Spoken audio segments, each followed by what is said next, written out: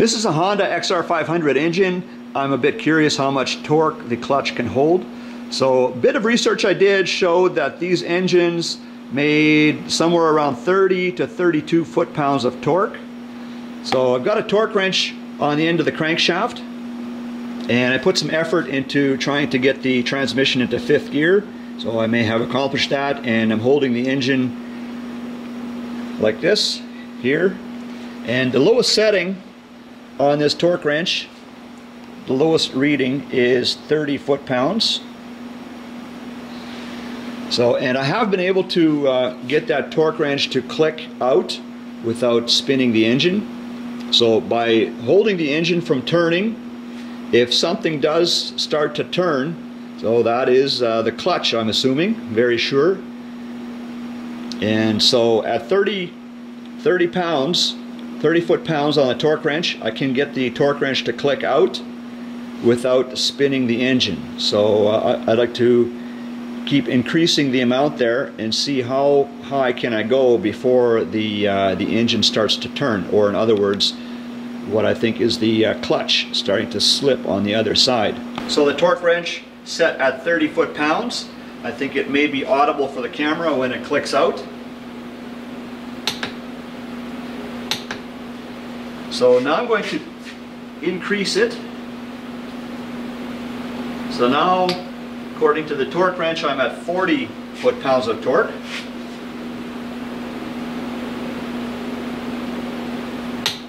And it clicks out. Okay, so now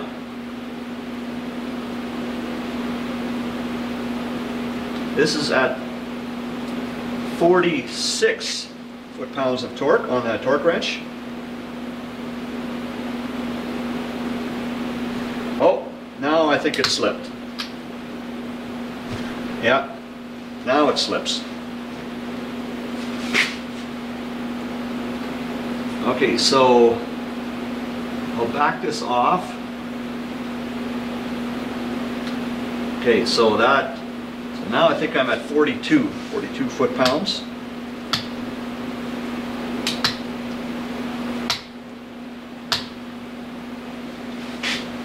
42, see, let's, I'll see what happens here.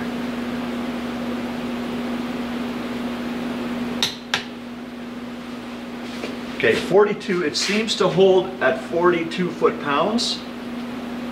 How about at 44?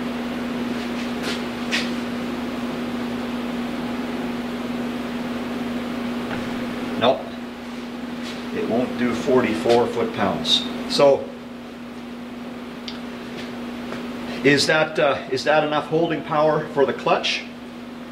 If the engine makes maxes out, let's say at 32 foot-pounds, and uh, let's say technically it could, let's say it could hold 42 foot-pounds. I mean, like sometimes the, the clutch can be released, you know, in an aggressive manner, which could, I don't know, like, um, is, is this clutch worn out or is it good enough to run as is? I may run it as is and see how it worked. See how like how how it holds up. XR500 workbench clutch test. Thanks for checking out another video.